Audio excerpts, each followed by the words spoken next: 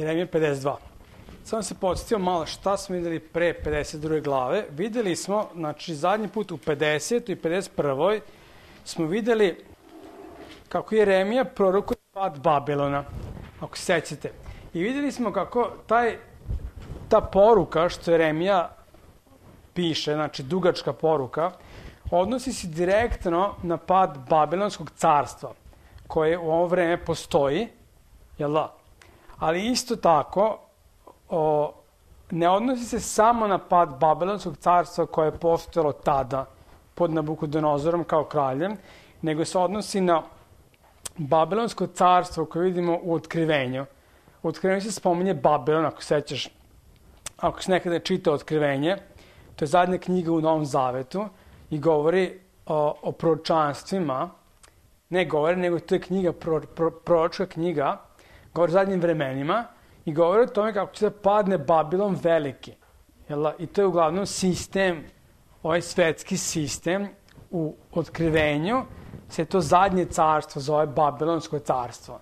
To ne znači da je Babilonsko carstvo bukvalno pod Nabukodonozorom, jel, ali jeste o, produkt tog prvog carstva koje je izmišljeno u Babilonu, u drevnom Babelu.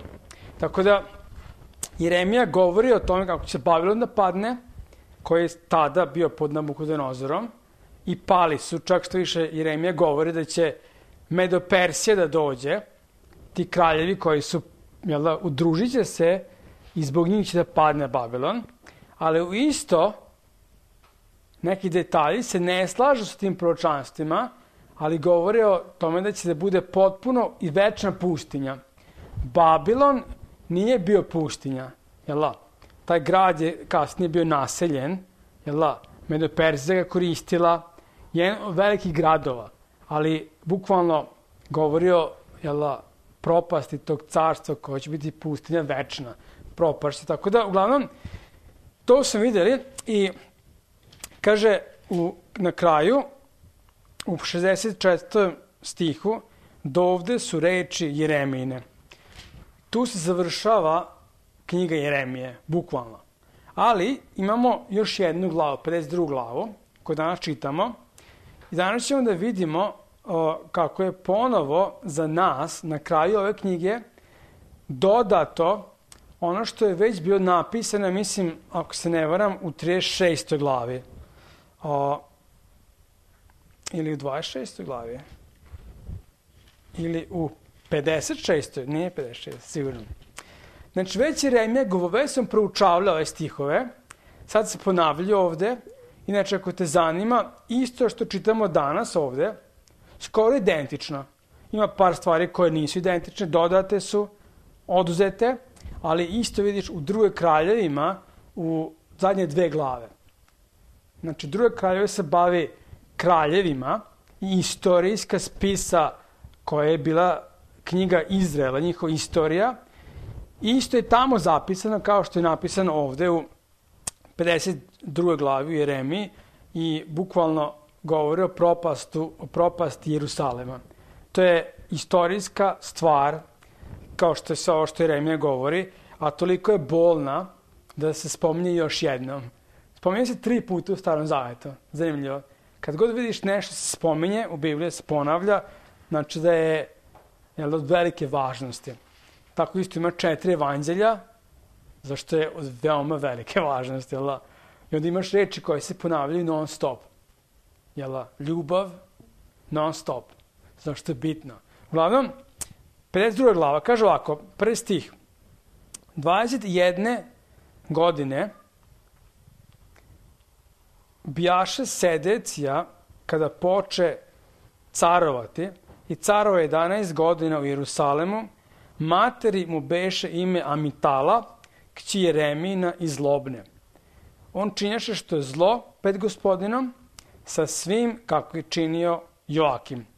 Joakim je la, kralj pre njega, u stvari nije pre njega odmah, nego od njega drugi kralj od nazad. Znači, on još jel, treći kralj od nazad, pre nego što se raspalo carstvo. Ali, uglavnom, bio je zao kralj i kaže, imaju 21 godinu kad je počeo da caruje, tako da ovde malo imamo istoriju kralja koji se zove Sedecija. Sedecija je zadnji kralj, mada, mada nije zadnji kralj. Pošto ako ćemo da budemo precizni, a, on je prvi kralj koga je Babilonsko carstvo namestilo da vlada. Samo da znaš, to je Sedecija. Godolija je došao kasnije, on je drugi kralj koji je namešten od Babilonskog carstva. Ako si bio s nama, tu znaš čemu pričam, a sad ne želim da se ponavljam. Uglavnom, Sedecija je prvi. Tako da, jest Izraelac je, ali ne bi on trebao da bude na prestolu, tako da nameštanje ovde zbog mira. Nabukodonozor ga je stavio ovde kao svoju marionetu, tako da on je počeo da vlada, kaže, kad ima 21 godinu, i ovde imamo neke datume, i ako te zanimaju ovi datumi, dobijaš uglavnom da je vlada od 597. godine, jel da, stare ere, do 586. godine stare ere. To je njegova vladavina. Kralj koji je postavljen od Babilona, jel da, politički, da bi bio mir. Jel da? Ali tamo je. I dalje Jerusalem je u redu, i dalje ljudi dolaze, kupuju, prodaju, jel da? Imaju protekciju, pošto je Babilon stavio svog kralja. Prethodni kralj, koji nije, ovde se spominje, o, ovde se spominje, samo da vidim kako se zove, pošto mešam ta dva imena uvek, ovde se spominje kralj o, Joakim, Joakim, Ćao. Joakim je, rekao sam, o, od nazad treće. Sedecija, e sada odmah posle Sedecije je bio kralj koji se zove, samo da vidim, pošto uvek mešam, Joahin. Mešam, ja mešam svako. Joahin, znači Sedecija od nazad. Joahin i onda Joakim. Znači, bilo ih jako previše. Nekada su imali, nekada je Severno kraljevstvo, jel da, imalo isto ime kralja kao i Južno kraljevstvo. I razmišljaš kao, oh, ti kraljevi. Tako isto ovde slično je, ali totalno drugačije osobe. Tako da Sedecija je prvi kralj nakon toga, jel da, što je o, Joahin odnešen u Babilon. To je, to je zadnji jevreski kralj. Tako da Babilon ima svog, svoju marionetu ovde i kaže ta marioneta, kaže da je činio zlo pred gospodinom sa svim kako je činio Joakim. Znači, bio je zao kralj, radio je jel, za sebe radio stvari. Politički o, nije ga zanimalo šta Biblija govori, nije ga zanimao zakon, radio je čisto jel, za sebe. Oh, jel, normalno. Ali bio je zao. Ovo zapamti drugi stih, pošto ćemo se vratimo ovde, jer se na ovom drugom stihu na neki način kači sve ovo što se dešava kasnije u Jerusalemu, što se dešava narodu u Jerusalemu, ljudima koji su okolo, što se dešava hramu, tu se sve lomi kod ovog kralja. Ovaj kralj je ušao u istoriju kao kralj kada je jela, pao Jerusalem. I ne želiš da budeš taj kralj. Znaš, kako, kako ćeš ti ući u istoriju? Ako bi se pisala knjiga istorije i mislim, glavno mi bi bili ono kao, ni nema nas. Znaš, kao, kad bi ovo je ono i kao, tamo negde između redova smo mi, jel da? Sam ja negde tamo i ti. Ali to, ali možda je bolje to nego da budem kao kralj koji je bio zbog koga, zbog čijeg greha i zlo srca koje nije htio da živi za Bogom, zbog toga je doneo prokletstvo nad Izraelom i zbog toga je pao narod i zbog toga je došao Babilon jel da, i uništio Jerusalem. Ne želiš to? Ne? Ko to želi? Hoćemo da uđemo u istoriju kao pozitivne ličnosti, kao dobre jel, osobe. Uglavnom, baš briga za istoriju. Ali kako tragično. Tako da mi čitamo istoriju, jer je nas podsjeća, ovo je, nije proročanstvo, nego je više, ovo, je, ovo su anali. Jel, iz njihove istorije i sa ovim hoće završi knjigu da evo, pro, prorokovao sam vam, ovo se desilo. I na kraju ćemo da vidimo mali tračak nade za budućnost. Tako da, znači, on čini što je zlo pred gospodinom i kaže, treći stih, jer od gneva gospodinova zbi se Jerusalemu i Judi, te ih odbaci ispred sebe, kaže, Bog je odbacio Jerusalim i Judu. To su zadnje dva plemena koje su još bila funkcionalna. Kaže, Bog odbacio ih je i sedec je kriv. Zašto? Kaže, sedec je se odmetnu od cara Babilonskog. Babilon ga je stavio tamo i sedec je lupila slavu u glavu ili ne znamo šta je mislio pisac da kaže s ovim, ali očigledno nije dobro izmerio situaciju. Ukapire šta Babilon? Koji su oni meni faktor kad sam ja kralj ovde u Jerusalemu, u Izraelu? I razmišljam, ne, ti si naša marioneta, tamo stavljam samo da radiš to što mi tebi kažemo, nisi niko. Ja sam neko i nešto. I kaže, pobunio se protiv svetskog carstva. Jel da? I zbog toga je doneo sve ovo što se dešava ovde. Mislim, prvo vidimo njegovo srce da je činio što je zlo i onda vidimo da se pobunio. Znači, Bog je dopustio da Izrael propadne zbog toga što ovaj čovjek nije živio sa Bogom. I zbog toga što nije živio sa Bogom, ne znamo šta mu se desilo, lupila ga slavu glavu, probunio, pobunio se protiv Babilona, tako da imamo duhovnu pozadinu, njegovo srce koje neće Boga, imamo fizičke razloge. Ovi fizički razlozi su rezultat duhovne pozadine. Tako je često u našim životima, razumeš? Često vidimo fizički, ba smo malo prezgovarali o tome da ne sudiš, jel da? Da ne sudimo, ali zašto ne vidimo? Vidimo samo s polja i ne vidimo duhovnu pozadinu.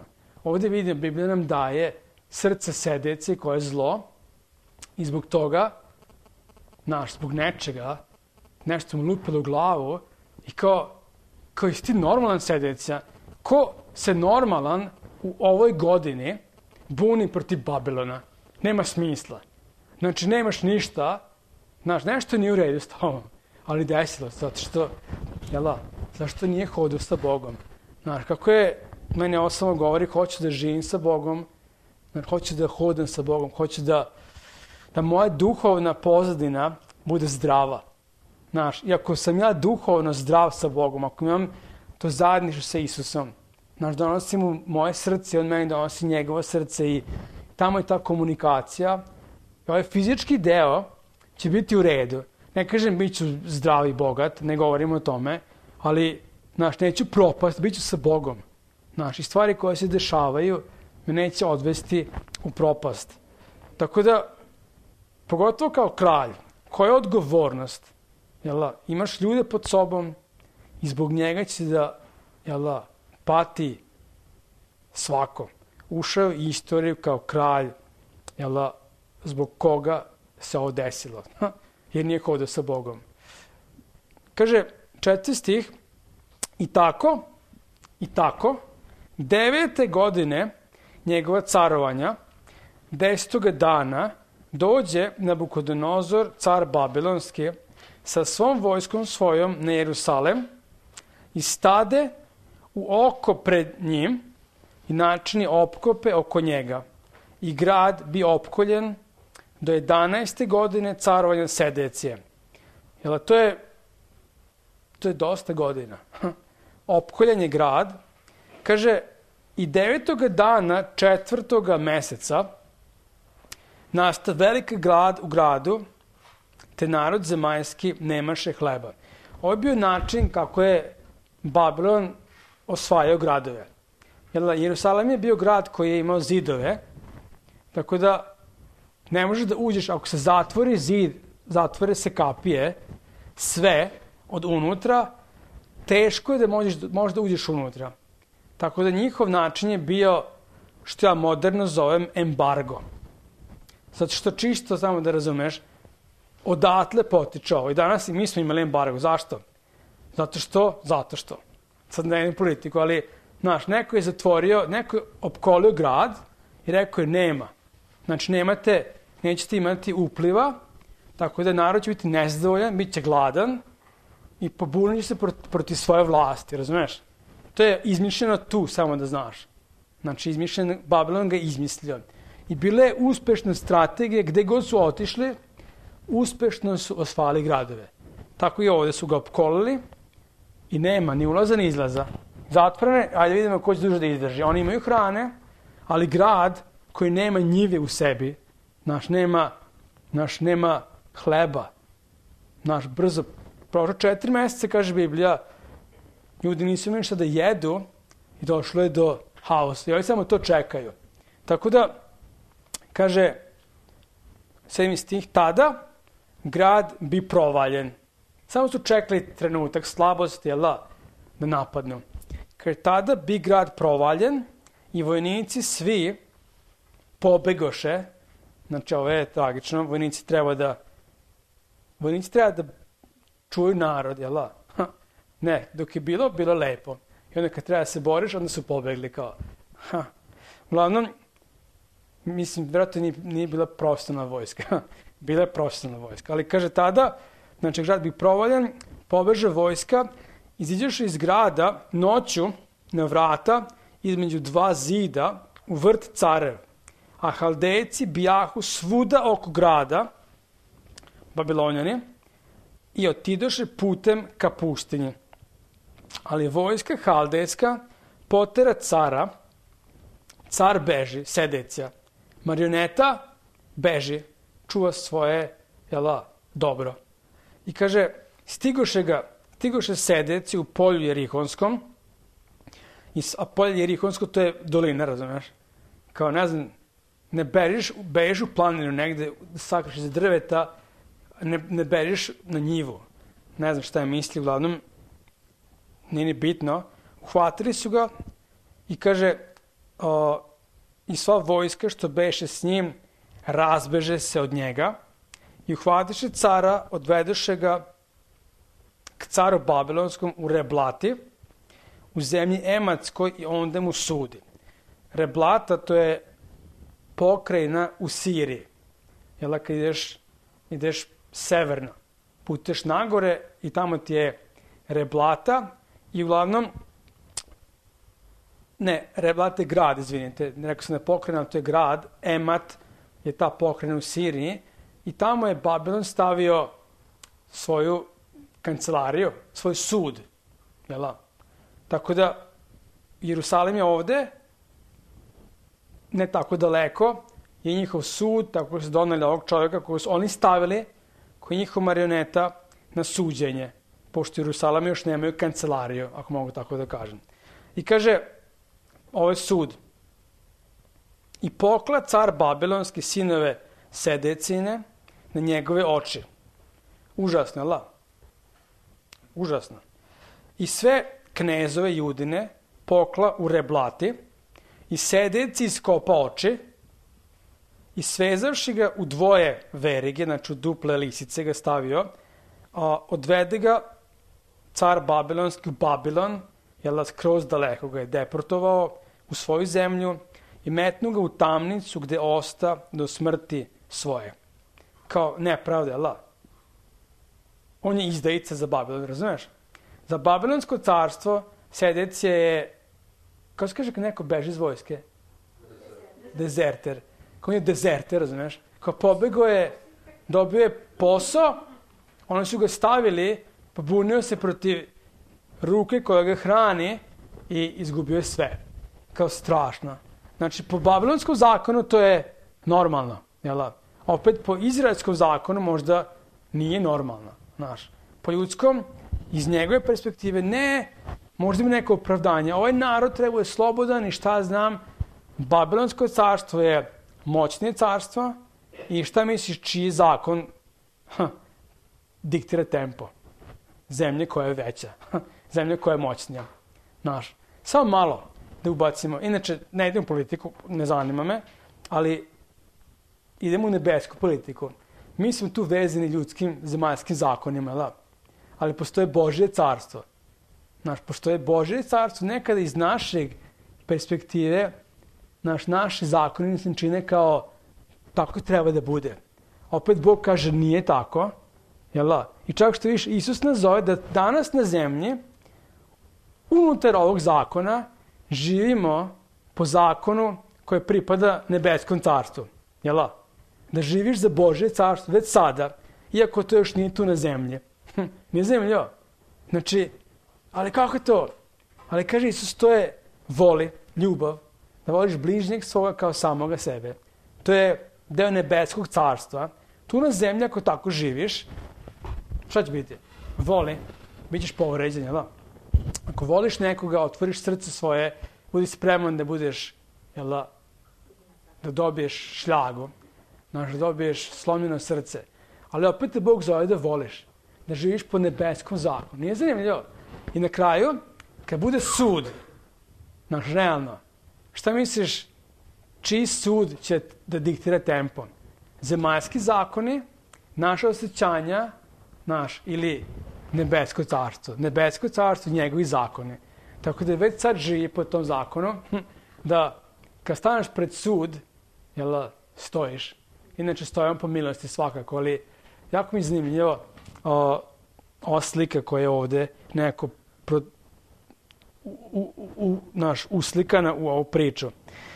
Tako da, to je to što tiče izdajice Babilonskog carstva, tako da razumeš zbog čega je ovako prošao. Strašno. Ovo je, ali ovo je istorija. Dobro, dalje kaže 12 stih, ovde, su, ovo još nije kraj priče. Ovo je nešto što je pokrenulo lavinu, jel la? I ne želiš da budeš na mestu kad se pokrene lavina. Ha? Hoćeš da budeš kući i da gledaš TV. I da se greješ na kvasnoj pećer. da neš da budeš na planini kad se neko pravi pametan i pokrene lavinu. Ovo je pokrenuo lavinu. Greh ovog čoveka, naš srce koje ne želi Boga, nego je, naš, hoće svoje neke ideje i svoju slavu, naš, zbog njega će da ispašta svako, ne samo njegove deca, nego svako. I ne samo on, nego i drugi. Kaže, 10. dana, 5. meseca, godine 19. carovanja Nabukodonozorova. To je inače 586. godina. Ako te zanima, jel da? Kaže, uh, dođe Jerusalim na Buzardan. Na Buzardan je zapovednik stražarski, jel da, jedan od njegovih babilonskih funkcionera, ministra, kako god da kažeš, koji služeše caru babilonskom i popali dom gospodinov i dom carski i sve domove u Jerusalemu i sve velike kuće popali ognjem. Sve velike, sve bitne zgrade. Naš, opština, gradska kuća, sud, znaš šta imaš, naš, muzej, naš, bitne zgrade, zapalio je sve, naš, zgrade političara, uništio je, ono, naš, dolazi, dolazi bukvalno lavina. A, ali normalno Nabukodonozor ga šalje. Jer ovaj grad treba da bude treba da bude smiren. Tako da, kaže, popali ognjem i sve zidove Jerusalemske u naokolo razvali sva vojska haldejska, što bijaše sa zapovednikom stražarskim. Zidove, znači, zid je bio zaštita gradu. Uništili su, napravili su rupetine u zidovima da ne može se zatvore više. Znaš, da ima slabost. Jel da? Tako da on odbrambena, odbrambeni sistem je pao. Velike kuće uništene, osramoćeno je mesto, jel da? Kaže, narod siromašni osta i ostatak naroda što osta u gradu i pobeže, što pobeže ka caru Babilonskom. I ostali, prosti narod odvede na buzardan zapovednih stražarskih. Znači, ovi koji su pobegli, hoćemo, znači, oprostite nam, mi hoćemo vas. Kao kapitulacija je, oni koji nisu, kaže, uzeo ih je sve i deportovaće ih u Babilon, samo 16. sti kaže, od siromašnog naroda u zemlji ostavi na buzardan zapovednik stražarski koji će biti vinogradari i ratari. Znači, samo od beda, jad i bedu je ostavio, da ne je propala zemlja. Jel?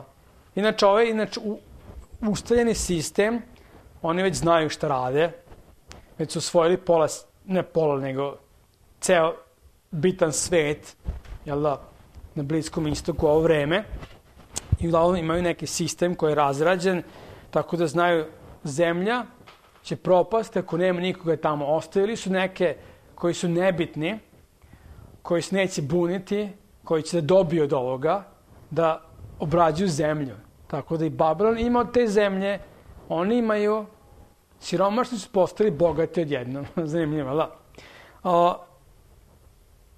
Dalje, 17. stih. Znači, ne samo da je grad propao, jel, da se sve promenilo odjednom, nego idemo dalje, lavina pada.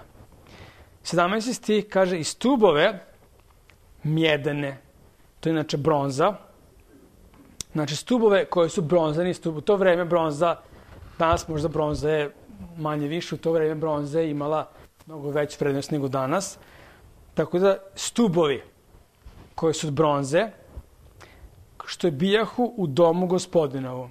Imao si stubove koje su bronzani stubovi, jel, koje je slovo napravio, nešto umetničko delo koje je bilo od neprocenjive vrednosti, bukvalno u to vreme. Kaže, i podnožja i more bronzano, more to je bila ta napravljeno kao neko more, jel da? Kao neka, neka, neka praznina tamo koja predstavlja kao ispred Bože prisutnosti, imaš nešto od bronze, kao neki pod, tako nešto, kao more, od bronze koje beše u domu gospodinovu, izlomiše haldejci i bronzu od njih odnesuše u Babilon. Za njih to je bronza. Za njih to nije ništa povezano, ne zanima ih. Taj bog manje više. Mi imamo našeg boga, naš bog je Marduk ili Bel ili kogod. Ovo je njihov bog, a ova bronza nam treba. to je naš bog. Naš bog je novac, jel? Tako da su uzeli, jel da, opelješili su, pazi, opelješili su hram Boži. Uzeli su te stvari. Za njih to je bronza. I kaže, lonce i lopate i viljuške i kotliće i kadionice i sve sudove bronzane kojima služahu uzeše umivaonice i klešta s kotlićima i loncima i svećnjacima i kadionicama i čašama što god beše zlatno i što god beše srebrno uze zapovednik stražarski. Dva stuba sam tu daje objašnjenje da razumeš ovo je drastično. Znaš, ovo je nešto a, kako su odneli ovo, razumeš, kako, kako se desilo ovo. Kaže, dva stuba, jedno more, 12 volova bronzanih, što bijahu pod podnožnjem, što načini car Solomon za dom gospodinov, i ne beše mere bronzi od svih tih sudova. A stubovi bejahu svaki od 18 lakata u visinu, to je nekih 8 metara u visinu. 8 metara je puno. Ovo ti nekih 3 metra maksimalno, jel da? Ajde, 3, 3 metra i 20 cm, lupam. Zamisli 8 metara u visinu stubovi koji su bronzani. Kaže, a, u visinu, a u naokolo do 12 lakata. U naokolo 5 metara. Znači, 8 metara visoko, to nije radijus, to je kad računaš u, u centimetrima, da, okolo stuba. Znači, razumiješ, uzmeš onaj coštok i kao ideš okolo imaš 5 metara, tako da ne znam koliko je to koliko je to radijus, to ti možda matematički možda i bolje znate, ja ne znam. Ja nisam... Da, koliko je to? Znači, to je debljina. Da, sad sam mi sve rekao. 5 metara sa 2 puta R, sa 2 i sa 3,14. Dobro. Već mi se ugasio mozak. Ko matematika? Može, ne se smeje. Da. E, hvala, to me zanima.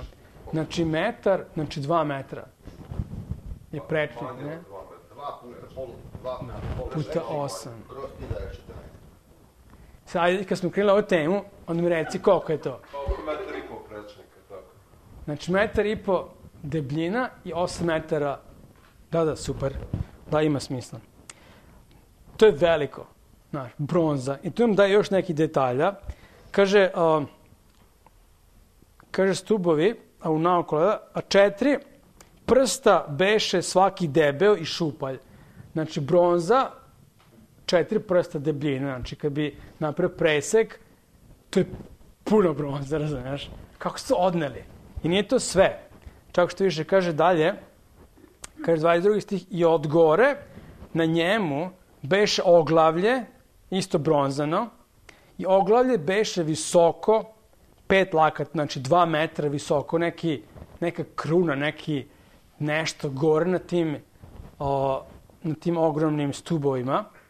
I kaže, i pletenice i šipci, znači ovo je nar, nije šipak, nego nar, znači bile su napravljeni neki umetnički napravljeno nešto neverovatno, neki narovi, oko oglavlja, sve od bronze, takvi bejahu i drugi stub sa šipcima, sa tim narovima i beše 96 šipaka narova sa svake strane, svega šipaka na pletenici u naokolo beše 100. Ovde hoćete, znaš, govori kao kako su odneli ovo. Jel, odneli su, opalješili su, uzeli su sve. Mi govorimo ovde o hramu. O hramu. Mi govorimo ovde o nečemu što, kao, kako se ovo moglo desiti, kada ovaj slika onoga što je Mojsije napravio u šator sastanka, jel da? I kaže, tamo u tom šatoru Bog je pokazivao svoje prisustvo. Jel da? Ovde kad je Slomo napravio kasnije hram, ovu zgradu, kaže da je Bog ispunio ovu prostoriju svojim prisustvom. Neki dim se stvorio. I kaže, sveštenici, pre nego što bi ušli u svetniju na svetniju, u to najsvetije mesto, znači prvo je žrtvo životinju za svoje grehe, da Bog njemu oprosti grehe, jer ako to nije uradio, imao je skrivene grehove, ušao bi unutra, jel da, u tu prostoriju gde je bio kovčeg zaveta, koje je predstavljalo Božje prisustvo i čovjek bi umro. Znači, Bog je bio prisutan, nije bilo zezanje. Razumeš? Bilo je nešto nadprirodno gde se nisi igrao sa Božjom slavom, nego stvarno se uzimo to ozbiljno. I ovde opet uz, ulaze pagani Babilonjani i opalješili su sve. Inače, gde je kovčeg zaveta? Ne spominje se. Uuu, dobra tema. Ne spominje se, nema ga. Do dan danas ne znamo gde je. Nije odnešen u Babilon, jel gde je? Ne znam. uglavnom, dobro, možda ti otkreš gde je. Malo sutra ćeš da otkreš, ali uglavnom, o, mesto koje je hram, jel sveto mesto, se pretvorilo u obično mesto. Jel Šta taj hram čini svetim? Šta ga čini drugačijim? Šta ga čini nadprirodnim? Stubovi ovi, zlatni, zlatni rekviziti, srebrne kašike i svećnjak, manora i ovi ogromni stubovi, umetnički na, i drvene i, i koče. Ne, Boži prisustvo. Ali zbog čega se ovo dešava? Pa prvi stih nam kaže, kaže da je drugi stih, on činjaše što je zlo pred gospodinom, sedecija, sa svim kako je činio kralj pre njega i od gneva gospodinova zbi se Jerusalemu i Judi te ih odbaci od sebe. Znači, Bog je digao svoju slavu sa ovog mesta. I ovo mesto je postalo ništa. Jel da? Ovo je kuća, ovo nije ništa. Kad su mi ovde, onda je crkva. Razumeš? Tako isto bilo koja druga zgrada na svetu. Sve su zgrade lepe, ružne, žute, plave, sa cvećem i bez cveća. Znaš, kad su tamo ljudi koji su sa Isusom, to je crkva. Kad ih nema, to je zgrada, to nije ništa. Znaš, Bog je uzeo svoje prisustvo. Zašto je kralj otišao od njega, odvuko je naciju sa sobom, jel da? Normalno, niko nije morao da ga sledi, ali oni imaju svoju odgovornost. I onda Bog je uzeo svoje prisustvo I ovo mesto je postalo, čak što više, Izaija govori, Jeremija govori, i na mnogim mestima u Starom Zavetu im Bog govori, to što radite više nije to.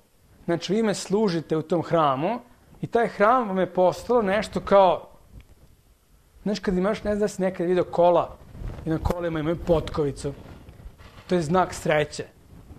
Znaš, ne, ima, ima, to je bez veze, u stvari bez veze, ali nije bez veze zbog čega neko koristi potkovicu. To je, ima veze sa paganizmom, sa sueverjem. Znaš, i to je imalo neč, zbog nečega i kao potkovica na autu je pre značilo kao, ok, da se nikad ne sudarim. Sem kad se sudarim, onda se sudarim, znaš. Znaš, detaljno s četiri liste ne postoje. To je kao znak sreće ili šta znam. Mačka koja prođe ispred tebe na ulici, ako je crna mačka, to znači da biće nešto loše. Ja sam milion crnih mački je prošlo i ne zanima me, znaš ono. Ali sueverje. Za Izrael u ovom trenutku istorije a ovaj hram je postao nešto sueverno, znaš. Zamenili su Bože prisustvo, zajedništvo sa Bogom, sa tim ritualima, znaš. I ti stubovi su im postali znak religije, jel da? Te stvari koje su radili tamo su im postali, postala religija, jel da? Šta se desilo? No rekao, znaš šta? Uzeo svoje prisustvo odavde. Tako da ovo mesto će da propadne zbog toga što ja nisam u sujeverio. Znaš da Bog nije, znaš, Bog ne zove mene da budem sujeveran, ni tebe. Bog me zove da budem sa njim blizak, Bog me zove da imam jela, bliski odnos sa njim. Znaš, da ne budem u tim ritualima izgubljen, znaš, u tim nekim stvarima koje radimo bez srca. Izrael je došao na mesto gde jednostavno jela, izgubio je pojentu zbog čega radi to što radi. Tako da žrtvovanja, jela, slavljenja, jela, sve što je radio je bilo i sueverja. Zato što, naš, nešto je bilo pre. Tako da, ovo nam čisto govori o tome da je Bog potpuno uzeo svoje prisustvo sa mesta gde je pre tolika bilo jako njegovo prisustvo da je sveštenik umro ako ima skrivene grehe. Razumeš? To nije bilo zezanje. Kao, kako to moguće? Zašto je Božja prisutnost realna? Bog je uzeo svoje prisustvo i ova kuća je bila uništena. Znaš, i odnešeno u Babilon sve. Tako da propast hrama, ovo je neverovatno inače. Znaš, možda misliš, oni koji su doživjeli ovo razmišljaju kao, kako se ovo moglo desiti? Ja sam mislio da, da je ovo sveto mesto. Da, ako hodate s Bogom. Ako ne hodate s Bogom, onda je ovo obično mesto. Znaš, Bog nije u sueveriju, nije u našim ritualima. Znaš, Bog traži srce, traži ličan odnos sa njim. I onda, onda sveštenik umre koji ima greh skriven, i onda se dešavaju nadprirodne stvari. I to, nam, I to želimo. Želimo život, znaš, ne želimo izgubljeno. Ha? U kojem smislu skriven greh? Pa, znaš, ako nije sveštenik, ako nije žrtvao za sebe, imao je neki greh i nije hteo, kao, niko to ne zna. Niko ne zna od ljudi, ali Bog zna. Znači, zbog toga što nije rešio te stvari koje su skrivene, Bog ga ubio. Tako da, znaš, imao je konopac na nozi zavezan, kad bi ulazio unutra, da ako umre, da ga izvuku, znaš. Imao je zvončiće na haljini, i ako ne čuje da zvončići zvone, znači da je umro. Tako da, ne može, imao je skriven greh. To niko ne zna, samo Bog, razumiješ? Izvukli bi ga on drugi sveštenik utakne jedno razmišlja, Bože, oprosti mi grehe i žrtvuje, zašto Bože prisustvo je realno, znaš. Bog zna skrivene stvari, to se izgubilo, znaš. Postala je tradicija, postala je priča i na kraju, jela, propala je sve to. Zašto Bogu to ne treba? Znaš, Bogu ne treba hram, ne treba mu običaj, njemu trebaš ti. Znaš, ti si hram njegovog duha, treba mu naš realno zadništvo naš, koje traže od mene i od tebe. Bog uživa u tebi. Znaš, tako da, neverovatno je, ovo što je napisano ovde je neverovatno da je Bog dopustio. Hm.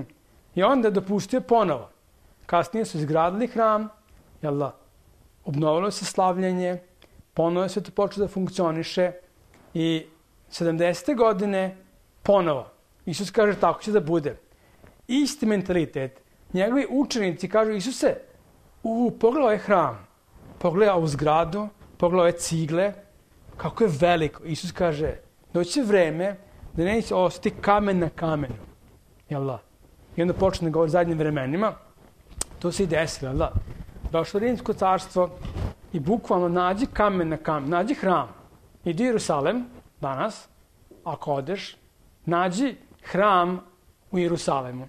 Nađi ga. Nema ga. Nađi kamen na kamenu. Nema ni jednog kamena više. Razumeš? Nema ga. Ne možeš čak ni da znaš gde je bio hram. Gde je počeo hram i gde je počeo nešto drugo. Imaš samo jedan zid, to je bila, to je spoljašna, to je jedan zid od jedne strane, od strukture gde je hram bio unutra, ali to je kao jedna velika bašta bila, razumeš? Tamo se mole, znaš, kako se zid plača. To je to, ali, znači tamo negde unutra je bio hram. Ni ne znaju gde je, negde ispod, razumeš? Nije nađeno. Mislim, jako zanimljivo. I to se ponovo desilo, da? Mi se živimo u vremenu gde, kao Jerusalem, će ponovo biti glavni grad, jel da? Zašto treba da bude glavni grad? U Bibliji se govori kao tako mesto, ima smisla, ali, znaš, možda ovo opozove još nešto sa sobom. Znaš, možda opozove progonstvo hrišćana, opozvaće izgradnju hrama sigurno ponovo i živimo u vremenu gde Isus kaže gledajte gore, pošto vaše spasenje dolaze. Mislim, živimo u vremenu koje je jako zanimljivo, biblijski i proročke. Ovo što se dešava ispred nas u vestima. Znaš, Biće hram ponovo, to je treći hram, ako možemo tako da kažemo, i na kraju će Antihrist doći u njega, jel, jako zanimljivo. Ali pre toga bit će progonstvo veliko. I to je jako na vratima, tako da možda ovi događaji opozovu da bude još veće progonstvo hrišćana, ne znam. Ali zanimljivo je. Ovi, ove stvari, proročke stvari koje nam, koje nam govore da gledamo gore, da naše spasenje dolazi. Uglavnom da se vratimo na ovu temu što kaže, što govori Jeremija. Znači, hram je uništen, nema više. Dalje kaže 24. stih, uze zapadnik stražarski i Saraju, prvoga svećenika, Sofoniju, druga svećenika i tri vratara, iz grada uze jednoga dvoranina koji beše nad vojnicima i sedam ljudi koji stajahu pred carem, koji se nađuše u gradu i prvoga pisara vojničkoga koji popisivaše narod po zemlji u vojsku i 60 ljudi iz naroda zemaljskoga koji se nađeš u gradu, uze ih na buzardan zapovednik stražarski, odvede, odvede k caru Babilonskom u Reblati, jel da, mesto gde je bio sud babilonski, blizu, i kaže, a cari babilonski pobi i pogubi u Reblati u zemlji Ematskoj, tako bi, bi presiljena juda iz zemlje svoje. Znači, ovo je čisto da emituju poruku. Nemoj se kačiti sa nama, s Babilonom. Skupe sveštenike, neke pomoćnike, neke funkcionere i pobio ih je. Jel da? Kao poruka. Kao zbog čega? Pa nisu oni krivi. Sedec je kriv. Jel da? Ovi ljudi šta su uradili loše? Dalje pogledaj, kaže 28. stih, ovo je narod što ga preseli na Bukodonozor sedme godine, 3023 judejaca. Inače, sedma godina, to je 597. godina pre Hrista, ako te zanima, gledaš te datume. Znači, prvo deportovanje. Nije prvo, ne mogu kažem da je prvo, zato što ima još gde je bilo njih 10.000 odnešeno, ali jedno od deportacije, gde je odnešeno, kaže, 3023 judejaca u Babilon, u zemlju koja nije njihova zemlja, u ropstvo, jel? Kaže, godine 18. Nabukodonozora preseli iz Jerusalema 832 duše. To je 586. godina. Ponovo druga grupa koja je deportovana u Babilon. 30. stih. Godine 23. Nabukodonozorove presli na buzardan zapovednih stražarskih judejaca 745 duša. To je inače 581. godina. Kaže, svega 4600 duša. Znači, u ovim deportacijama puno ljudi je odnešeno. Zašto? Zbog sedecije. Zašto je otišao od Boga? Zašto nije jel da, radio što je zlo pred Bogom. Tako da vidimo nešto jako zanimljivo. Narod koji pati zbog greha i zbog, nisu oni cvećke, niko tu nije, jela, ali zbog sedecije. Jako razmišljam, hm, tako i danas. Znaš da tvoj greh i moj greh nije samo tvoj i moj greh. Jeste, ali ima uticaj na druge. Znaš, moj greh koji napravim pred Bogom, znaš, ima uticaj na druge. Znaš, dobro koje uradim ima uticaj na druge. Znaš, takav je svet u kom živimo. Bog je stvorio ovaj svet, stavio tebe ovde.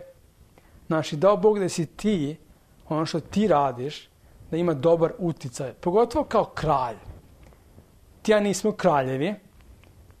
Hvala Bogu. Ne bi nikad ni bio kralj ili predsednik. Ti voli da budeš predsednik. Kao da budeš, malo bi da budeš, ne. Kao nikako, ne do Bog. Ne bih volao da sam osoba koja ima uticaj. Koja je odgovornost, jel da? Sedec ima odgovornost i poklekne o tome. Svako od nas ima neku odgovornost. Ti si kralj. Ti si, ti si osoba koja imaš upliv u nečije živote. Ne znam u čiji život imaš ti. Znaš, ako si roditelj, imaš decu, znaš, ako sam pastor, znaš, tu, je, tu su ljudi, tu je crkva, koja je odgovornost? Ne želim da, znaš, ono, kao, kao ja sam neodgovorna osoba, želim da, kao ne, bla, bla, bla, bla, ja ne znam, ne, nisam to čuo. Koja je odgovornost, znaš? Koja je odgovornost šta radim? Šta radiš? Deca, znaš, imaš prijatelje, imaš odgovornost pred drugima. Znaš, pazi. Pazi kako, pazi to carstvo koje si dobio. Svako od nas je kralj na neki način. Svako od nas ima, uvijek kažem, ima taj domen vladavine. Znaš, neko veći, neko manje. Znaš, pazi, znaš, pazi na tu odgovornost. Znaš, pazi da tvoj upliv bude dobar. Znaš, da tvoje, da budeš dobar primer. Da budeš ohrabrenje drugima, znaš, na izgradnju, znaš, ne na rušenje.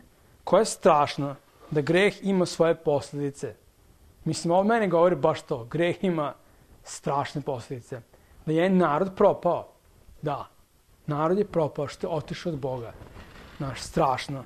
I na, na kraju, kao tračak svetlosti i nade posle ovog napisanog kraja, ovaj kraj knjige, kraj Jereminog života, kaže 31. stih, a 37. godine, od kako se zarobi Joahin, car Judin, to je bio taj zadnji kraj, to je bio pre sedecije, jel? Kaže, 12. meseca, 9. 9. 25. dana, Evil Merodah, car Babilonski, inače, da, Nabukodonozorov sin i naslednik prestola, Evil Merodah, o, zacarevi se, izvadi iz tamnice Joahina, cara Judina, i lepo govori s njim i namesti mu presto više prestola drugih careva koji bi jahu kod njega u Babilonu i promeni mu haljine tamničke i on jeđeše svakda sa njim svak, svoga veka svojega i hrana mu se jednako davaše od cara Babilonskoga svaki dan svega veka njegova do smrti njegove. Znači, ovaj Joahin se ponovo spomenje. Bio odnešen u Babilon sa svojom majkom i uglavnom sad je pušten u Babilonu živi, nije više u zatvoru, ti si kralj. Evo ti hrana, cenim te, cenim tvoje carstvo. Kao šta se dešava ovde?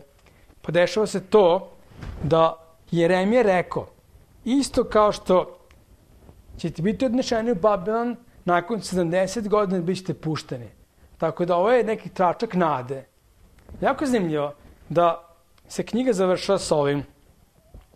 Jeremija ima čoveka koji je bio prorok, koji je prorokovao uvek kontra njemu. Svećate se? Jeremija je rekao crno, ovo je rekao belo. Jeremija je rekao belo, ovo je rekao crno. Lažni prorok. Jeremija je rekao, ovaj grad će biti pašće.